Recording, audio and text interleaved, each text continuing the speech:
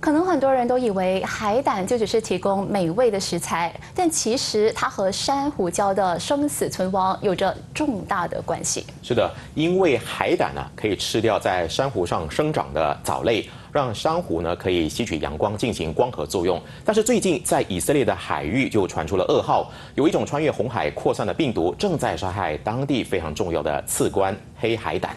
只需要短短的两天时间，一个健康的黑海胆就剩下骨头，情况甚至是严重到整个物种都被消灭了。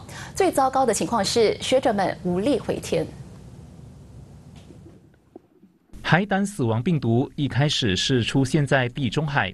早几个月前，希腊和土耳其的海域就传出海胆死亡的情况。只是没想到，这个夺命病毒随后横跨苏伊士运河，来到了海胆的天然栖息地红海。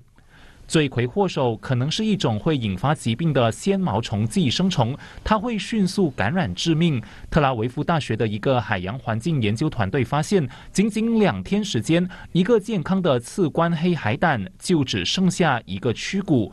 更惊人的是，当地一个黑海胆的物种因为这个致命流行病，在几个月内彻底灭绝。更糟糕的是，海胆的死亡也连带威胁到珊瑚礁的生长。Sea urchins are the grazers of coral reefs. They're the gardeners. They eat the algae, which can easily outcompete corals. And once the sea urchins are gone, there is no one to eat the algae, algae grows, and the corals die. 根据了解，约旦、埃及和沙地阿拉伯已经传出大量海胆死亡的消息，情况严峻到学者也束手无策。Unfortunately, there is nothing that can be done to stop this at the moment. What we can do and what we should do is take all actions to try and limit the impact that this disease is having on the environment.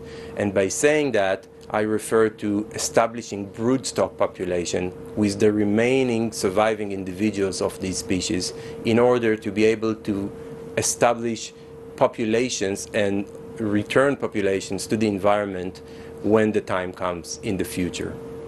学者们只能寄望一个劫后余生、恢复物种的方案，并锁定红海北部海岸一个度假小镇。那里有个天然狭窄海峡，它起到了热胀的作用，使得那里的珊瑚礁比其他地方的同类更耐高温。What worries me the most is that we currently have a very narrow window of opportunity to do something, and large systems normally don't take decisions rapidly, but we need to take a decision rapidly. So we have the disease in the Mediterranean advancing from the north.